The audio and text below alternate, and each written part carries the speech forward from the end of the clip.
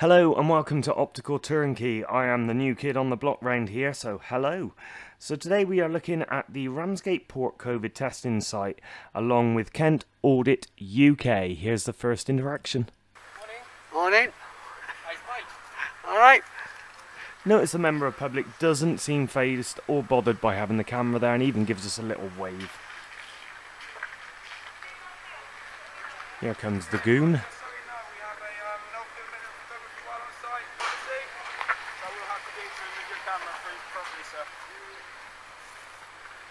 Just so you know, so we have a no filming or photography. I'm not on the site. You are on the site. Once you go past the gate, you're over the site. Then, Oh, this, so- this is this is No, public. So out he comes with his lovely laminated sheet of paper, and along comes his friend. Stand by. And Why can't you just go down there? because I don't want to. Please, you mate, come on. stand away. No, you stand away. No, you stand You away. stand away. You stand away. Oi, oi. Move, move. I've had enough of your crap. Move. Come on, move. Come on, No, mate. I'll you're annoying my. Don't touch me. I'm not touching Move. you, I'm touching a tripod. Right. on, mate. Move. That's assault. No, it's not. So then he decides to get hands on, and then his colleague moves the camera.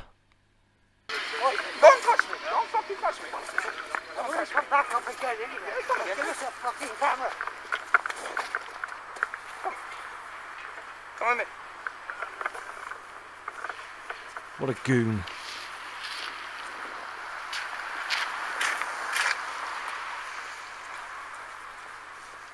If you want to film, film from there, big man.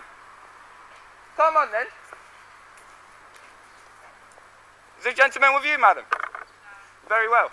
You don't want him near you. I look good on camera, I know Yeah. that. No, you don't. Such an asshole. Yeah? That's what I get paid for. So he gets paid to be an asshole. Wonderful. Well, next thing in my inbox today, I received this letter from Sight and Sound Security.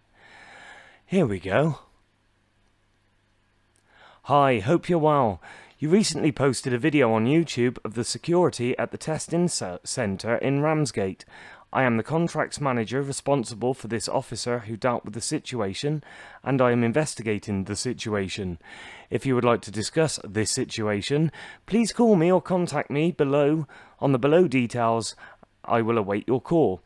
Also, under the NHS data protection of its patient confidentiality, I would like to ask that you take down the video from YouTube so not to breach the data protection of the NHS, who have enough to deal with in the present COVID situation and having patients' complaints that their confidentiality has been breached is a situation that does not need to be dealt with.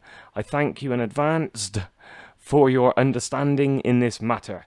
Kindest regards, Steve Tucker, Contracts Manager. Hmm, right. Okay, how do I reply to this? Well, uh, you will see very shortly. So instantly I took to the computer to send the following reply to Mr. Tucker. Dear Steve, I indeed recently posted the video from Kent Audit UK in support of the PINAC movement, educating people that photography is not a crime. I thank you for inviting me to contact you regarding the incident, but as this was not my audit, I feel that I could unfairly misrepresent the auditor in his act of filming the site.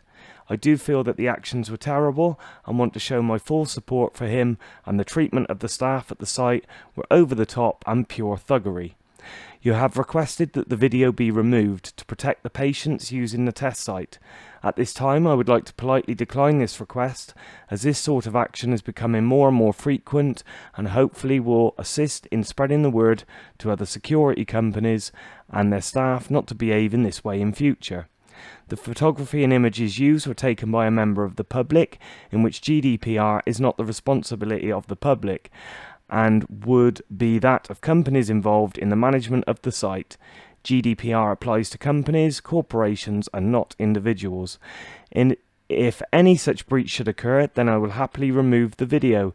This site's publicly accessible and filming is not a criminal offence, assault is. I understand that this is difficult times for the NHS, as is with us all, but this treatment from any member of staff from the establishment is totally unacceptable, and I wish to leave the video live.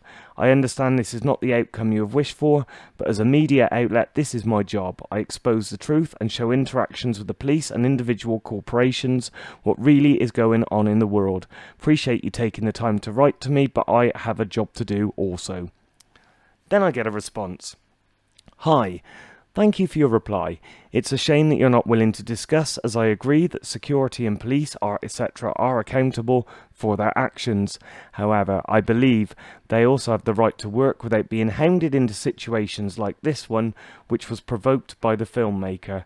Therefore, I I will be taken further to YouTube, who happens to be an ex client client of mine, to have the film removed and passing on the information to the police as the filmmaker has been on the site several occasions carrying out what I believe to be hostile reconnaissance of the site and could be linked to terrorist activity under the Terrorism Act 2000. Thank you for your time. Kindest regards, Steve Tucker, Contracts Manager. Well, guess what? I've got a friend also. They work for Kellogg's, but it doesn't mean I get free cornflakes.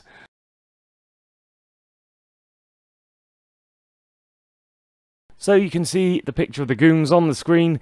Don't forget to give this video a like, a comment and subscribe and click that notification bell to see all my future updates and videos. Thanks for watching.